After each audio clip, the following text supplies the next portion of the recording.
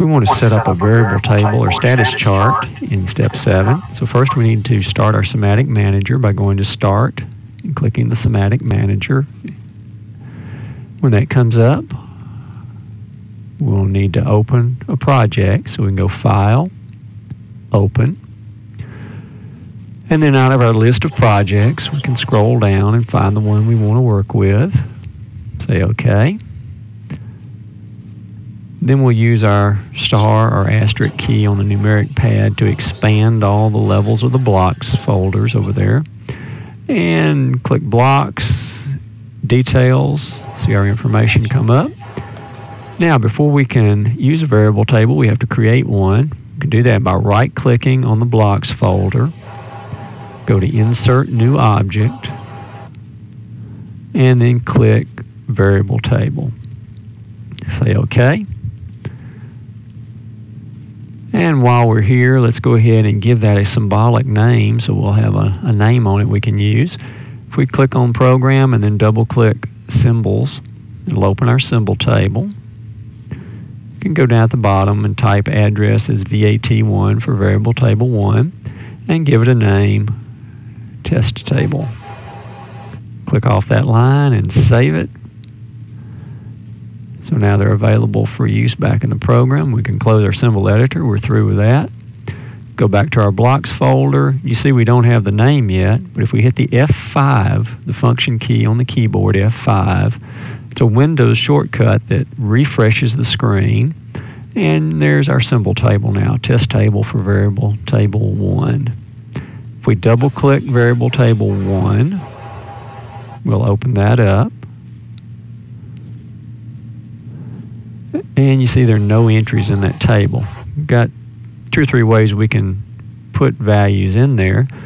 Let's go first and do the way that's easiest if we have several in a sequence to do. We want to insert a range of variables. And we'll start with input 0.0 and we want to go 8 points and we can use our little arrow buttons to roll up or down the number and check our binary format. It'll be fine. Click OK.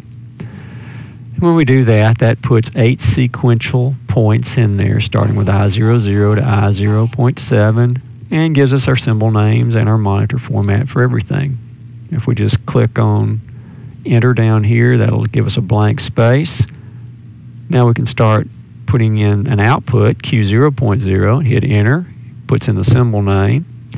If we'd rather go by symbol instead of hard code address, we can come over here and type second output, which is our symbolic name for Q0.1. When we enter that, it fills in the rest of the information for us. So now we've got a chart set up. We need to connect because we can't use our monitoring eyeglasses yet. They're grayed out, so we have to connect using this button that shows connecting the PC across the MPI network to the PLC.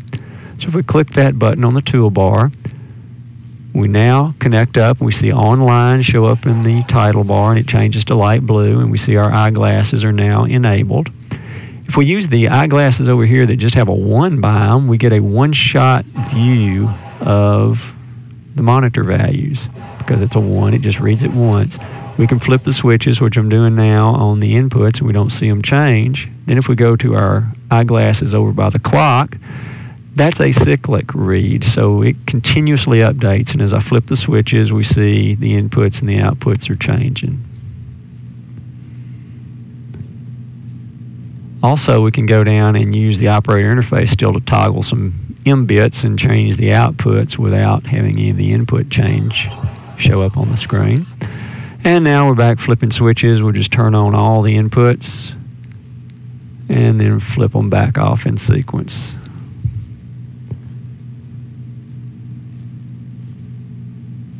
Okay, now we can turn off our monitoring with the glasses, toggle that button back off.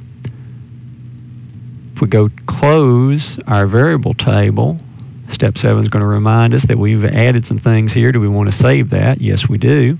And then we'll drop back to Simatic Manager. Now, if we want to use that table again, since we saved it, we can just double click on variable table 1. We've set up a, a range of I.O. points we want to look at over and over. Now it comes back already configured. We just hit our button that says connect to the configured CPU, hit our monitoring eyeglasses, and now we're back in business. We can see the inputs change for us.